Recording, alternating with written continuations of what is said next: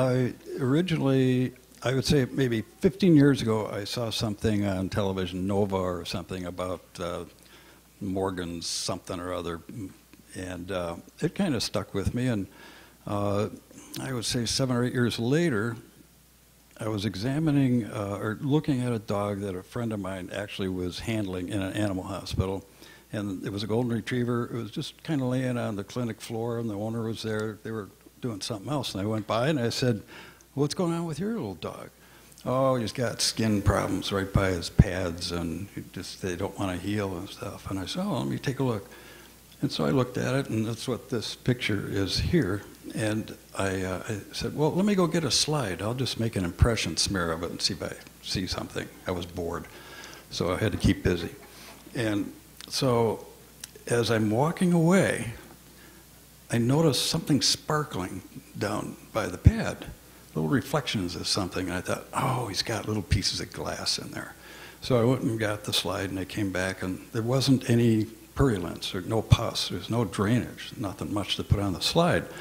So I got a forceps, and there was some crusty material around it, and so I grabbed some and I put that on the slide, and I said, "Well, you know, good luck with your dog." And uh, went and looked at it under the microscope because I'm curious, and uh, I like learning new things.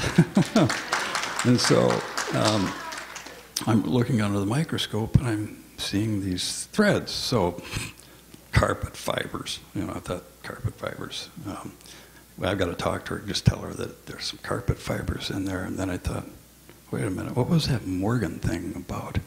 Morgan something or other. Yeah, I'm going to hang on to these little things. I'm not going to say anything to that lady. Good thing I didn't. Uh, but anyways, uh, I looked at it under the microscope, and oh, oh, how do I change the slide? Which one is it? The what? Oh, you, you, okay, thank you. Um, so anyways, this, uh, I, I, looked at that and then, let's go to the next slide. It, what you're going to see on this one. Oh, it's down. Is it down here? The right key at the bottom. Thank you, sir. So this is what I saw the, under the microscope, uh, thread-like things. And they were, actually there was some tissue, as you can see, embedded uh, or surrounding some of these uh, uh fibers. And these were, uh, and I apologize for some of the images. This was early in my career, about 10 years ago. Uh, and some of the fibers looked like nylon fishing line, but I thought, yeah, these these aren't carpet fibers. So I, I asked, uh, asked a few questions here and there. Um, I, I, don't know how the dog was uh, managed, but uh, I, I saved them, took them home, and uh, took some pictures. And um, anyways, I, I just tucked it away for a while. And then one day, not too long ago, um, I took a lipoma a fatty deposit off of a dog. And you can see where the staples are on the slide there. Uh, this is it when it came in after about seven days. Just checking the incision. I didn't put the staples in. Somebody else did because it didn't heal right. Yeah, it was the other doctor where I'm working right now. Apparently, it, the incision didn't heal very well. Fortunately, most of my surgeries heal up just nicely. So I blamed it on somebody else. And uh, so then I saw this when the dog came back after a checkup, and I thought, okay, now it's healing pretty well.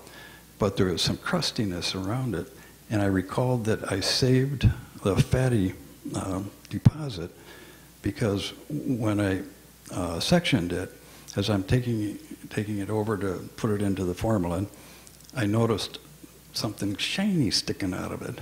And of course, I'm thinking Morgellons. Uh, and more Morgellons, I'm sorry. Uh, and so uh, I sent that section in knowing that there was a fiber in there. And the pathologist didn't see it. And the reason I think why is, you know, they take such a fine slice that you, you could have a, uh, any kind of a fiber in or around it, and you're not going to see the length of it or the depth of it. And my thought is that uh, in clinicians, veterinarians, and this is some of the things that I'm going to put on a website. I just I just read a minute ago. I registered a domain name, uh, morgellonsinpets.com, and this sort of stuff is going to go on there. Okay. Um, and one of the things that I'm I'm going to suggest is that if we see an, an unusual growth, whether we want to send it to the pathologist or not, we should uh, analyze it under a bright light to see if we get some reflectivity. And also, if we do see that, uh, to get confirmation of it, uh, if we're going to send it to a pathologist for confirmation, not to slice it. We need to look at a chunk of it that where we can shine some light on. I've got some really fun pictures that um, where I, I was looking at different things using different light sources. And if, if you look at a specimen like this, just using the uh, uh, light from the microscope, you're going to miss a whole bunch. You got to shine a light down on it in different directions. So, uh, and this is what I was seeing. And obviously, you can see the fibers, I'm sure, on that slide. And then it finally healed up nicely on its own. But these are kind of cool pictures. Um, and I wish I, I could zoom in on them because as you look through different depths, uh, you will see more fibers. Uh, if you're looking just at the surface of the specimen, uh, you're going to see what's there. But it, it, when, as you focus up and down, you're going to see a lot more that's going on. Isn't that a nice picture? Look at that. You should. I'm going to actually blow it up and put it on canvas and put it in my living room because I like that picture. um, I want somebody to tell me what that little black dot is. I think uh, one of the doctors the other day told me that it's uh, it might be a, uh, you know, I forgot what he said. no, but I think it's it may be a part of one of these long black fibers. Um, so let's see here. So again, this is just another photo of it. And this is the pathology report. And I called the pathologist uh, and I said, Did you see anything at all that looked like fibers? No, not really. I'm thinking, okay. Uh, I'm thinking, okay, I'm going to send her this PowerPoint and show her what I saw. And that's how I need to go about this. I got I have to get pathologists saying, yeah, I think it is. Yeah. So they're not going to see it if they slice. We've got to look at the whole section. And interestingly, this is a cat that had weird things going on. I could feel some kind of tightness under its skin, and I got permission from the owner. There was this little mass on there too, and I couldn't figure out what it was. I said, but it's not supposed to be there. Let's take it off. And so when I was taking it off, I noticed that as I cut the mass away, it was like attached to something. And you can see like a strand there. Um, and so I pulled as much of it out as I could. I would have had, if it was my cat, it, would have had an incision that went wherever, up to his ear if I needed to to get at this thing. And uh, again, you can you can see down here um, at the, on the bottom slide um, the that long stringy thing. There was a name for it that looked like a like a tree, a branch or a fern or something. There was a name for it on one of the fibers that looked like a like a plant. Um, what was that? A feather one, yeah.